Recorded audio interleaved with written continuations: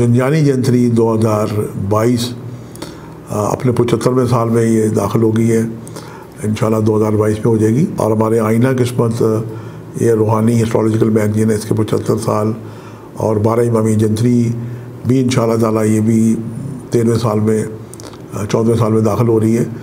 ये भी इन आ जाएगी इसी माह के आखिर तक। और उसके बाद अलबरूनी तकवीम दो हज़ार बाईस जिसमें जनाब लकी नंबर भी शामिल होंगे इनाम लकी नंबर आइना के किस्मत में। बसमान मोहम्मद मोहम्मद। शाह जानिए कि वेब टी जानब से आपकी खदम में हाजिर हूँ प्रोग्राम आज के सितारे। ये सितारे ये कहा कि ये फल कराब राय ज़िंदगानी है। आज आठ नवंबर और पीर का दिन है और हफ़्ते के आगाज़ का पहला दिन है। परवरदिगार से दुआ करते हैं कि हम आ, सब आज हमारा जो अच्छा दिन बसर हो ताकि पूरा हफ़्ता अच्छा बसर हो। ये छोटे छोटे टोटके बुज़ुर्गों ने बना रखे हैं। ये किसी हद तक दुरुस्त भी होते हैं। आज हम देखते हैं कि चाँद किस पुरुष में चाँद आज हमें बुरज कौस में मिला। ये नौवा बुरज है। और ये बहुत ज़बरदस्त किस्म की जनाब ये रूहानी सलाहियत रखने वाला, बल्कि फितरती तौर पर ये नसीब और पाकिस्तान का ये बुरज कहलाता है। इसका मालिक से ज़्यादा मुश्तरी है, जिसका सर्कल बारह साल में एक दफ़ा होता है। और इसकी जनाब खुशबख्ती की किरणें, इसका तो कुछ जवाब ही नहीं।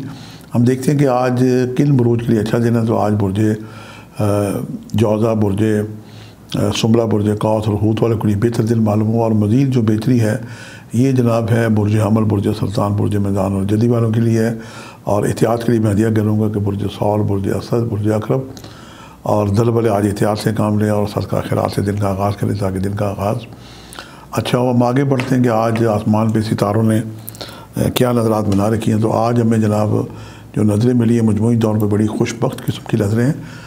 चाँद का जनाब किरान है जोरा के साथ और फिर चाँद की तस्दीस है अतारत के साथ और चाँद ही की तस्दीस है मरीख के साथ तो मजमू तौर पर जनाब ये सारा दिन ही बड़ा खुशबख्ती का दिन है।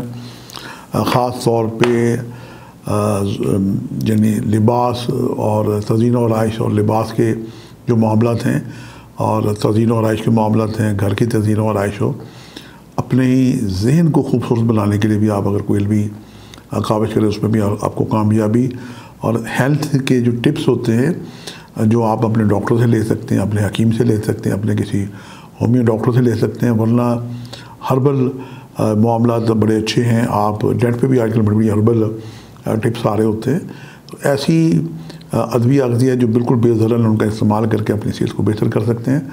और ख़ास तौर पर वो बहन भाई जो चाहते हैं कि उन्हें आराम और सुकून मिले तो फिर उन्हें मैं हदिया करूँगा कि अल्लाह का ज़िक्र करें, अल्लाह के ज़िक्र से ही दिल आराम पाते हैं, सुकून पाते हैं। मौला कायन अमीरमिन फरमाते हैं कि जब मेरा दिल करता है कि मैं अल्लाह से बातें करूँ तो मैं नमाज़ पढ़ता हूँ। और जब मेरा दिल करे कि अल्लाह मुझसे बातें करे तो फिर मैं कुरान पढ़ता हूँ। कुरान फहमी बहुत अच्छी बात है।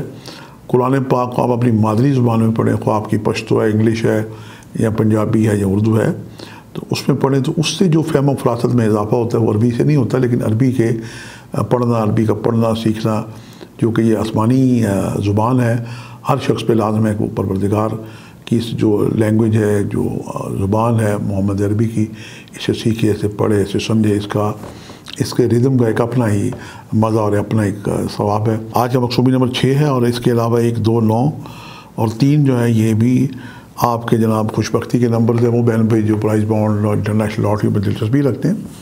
वो इन नंबर की अवेयरनेस से इन्हें उलट पलट करके इससे फैज़ब हो सकते हैं, इनके नंबर की बिरादरी से।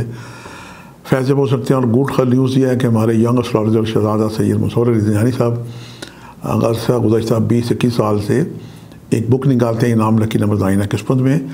इसकी भी जनाब आजकल वो तैयारी कर रहे हैं और ये दिसंबर के आखिरी हफ़्ते पे मार्केट में आ जाएगी, इसकी हार्ड कॉपी लेके पढ़िएगा।